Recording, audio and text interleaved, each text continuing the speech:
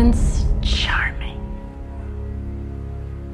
Finally, I'm seeing you clearly. And what do you see? A fraud. A shepherd who has no business being royalty. Well, I see a spoiled little princess who ran away from her troubles, who always runs away. I can't believe I had a child with you. Well, who knows? Maybe you didn't. Could be Whale's.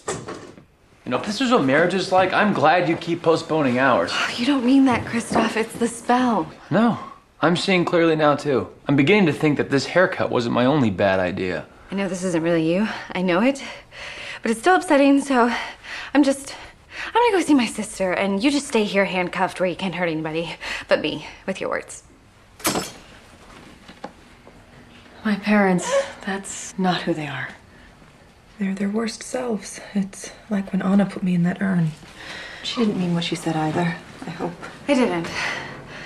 That doesn't make any of this less horrible. Oh, it's okay. You're immune. We all are. And we're together. It's gonna be all right. Remember, I'm the savior. Is that like a real job here? Apparently, it is.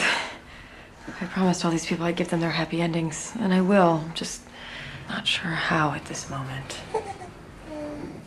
I think I might have an idea. Do you know how the Snow Queen got the idea for the curse? It's from a legend called the Trolden Glass. I've heard of it. Its origin isn't important. What matters is how they broke the curse. Oh, what was done? Um, uh, to break the spell. Oh. They had to kill the king. So in this case, that would mean Ingrid. I don't believe killing is ever the answer. Are you sure we can't reason with her? She's beyond that.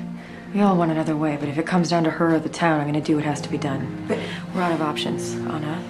How are you with kids? I love kids. Wait, oh, listen, we should get going. Wait, I'm the babysitter? The Snow Queen is my aunt, too. If this is what has to happen, I want to be by your side. I'm sorry, but someone has to stay here with everyone else. Emma's right. Stay with Kristoff. But this was my plan. I know it was. You're the smartest person I know. And you're my sister, which means you need to stay safe. Ingrid is a problem that Emma and I have to solve. Do you trust Emma? I do. She's my friend. Thank go. Well, he's a doctor. He actually knows which part is which.